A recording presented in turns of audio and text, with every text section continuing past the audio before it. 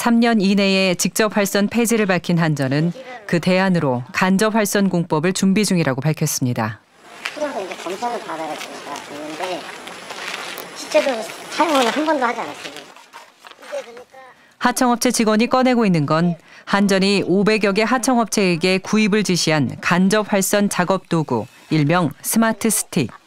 요걸 하나씩 돌아가면서 전선을 자르고 찍고 테이핑하고 이것까지 다 할 수 있게 만든 거예요. 우선 여기 보면은 이게 절단도 하고 여기 보면 이게 설명 건데 다 써 있어요. 써 있는데 이게 그냥 봉 자체만도 무게가 장난이 아니거든요. 여기 이거를 끼고 이 상태로 이렇게 작업을 해야 되는데 이게 실제로 말이 쉽다지 이게 한 두세 두세 분만 하면은 팔을 절여서 다른 걸 못해요. 아예 실제로는. 작년 겨울 급하게 구매를 했지만 무게가 너무 무거워 한 번도 사용한 적이 없다고 했습니다. 이 스마트 스틱은 100% 일본 수입산. 일본의 어느 제조업체가 만든 간접 활선 작업용 도구입니다. えー、とホットスティックのえー概要の方を説明しますまずあの、えー名前がやっとこという名前になりまして、えー先端がこうですね、えー端 物を端できる形状となっております 그런데 22,900볼트인 우리와 달리 일본은 6,600볼트. 전선 두께가 얇으니 스틱이 가볍고 사용이 쉽습니다.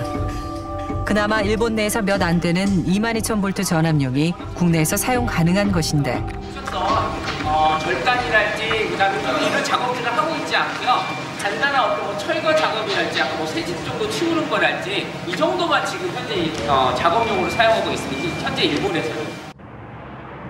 그 이름도 무색한 스마트 스틱.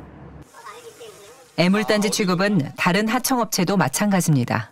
아 이렇게 아 이거구나. 이 이렇게 쌓아놓으신 이거요? 여기 보면 이렇게 포장 안 뜯고 이런 거 포장 하나도 이, 이 진짜 새 거네요. 한 번 뜯어보고 그냥- 바로 다 씌워놓은 거죠? 네. 이 일본산 스마트 스틱을 한 국내 업체가 독점 수입해 하청업체들에게 판매를 했는데 한전은 각 하청업체들의 구매 사실까지 일일이 확인했다고 합니다.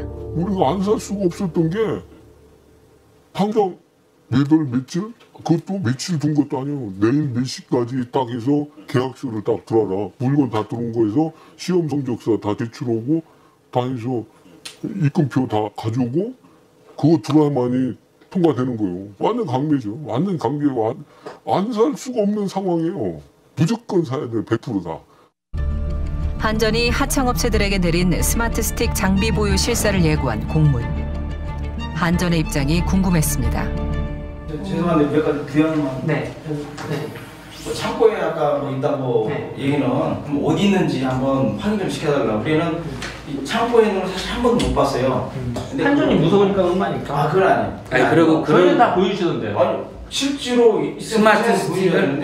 예, 포장도 안 뜯은 거 저희가 보고 왔어요. 스마트 스틱은 아닐 거고 나가게 그- 세이키 농까지 확인했습니다. 뜯어서.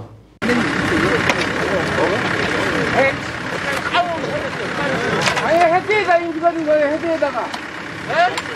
아니 인지거리를 헤드에 거라고 헤드에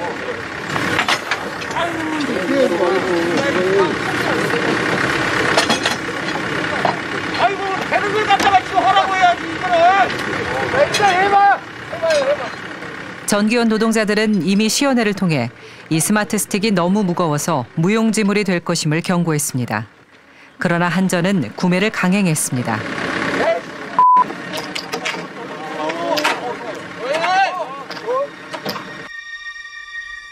가격은 상상을 초월했습니다.